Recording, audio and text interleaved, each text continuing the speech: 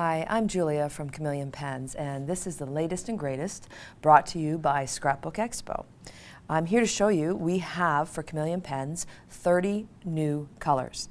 Now when we were here last year we showed you the 20 colors that's the base of the line which is basically based around the 12 colors of the color wheel and then we have some neutrals, we have some skin tones, we have blacks and grays and the 20 colors are a beautiful palette to start with.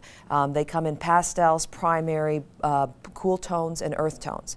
But this year we're actually launching six new five packs. We have floral tones, we have nature tones, we have blue tones, there are warm tones, and skin tones. This one's great. It adds to a lot more skin tones with the chameleon pens. And we have gray tones. So that makes uh, 30 plus 20 is 50 colors in total. And if you really like to complete the set, we'll be having coming out our 52 pen set. It's all 50 colors and it comes with a blender and a detail pen in this wonderful workstation and carrying case. So whether you're a colorist or a scrapbooker or just love to doodle, you're going to love chameleon pens.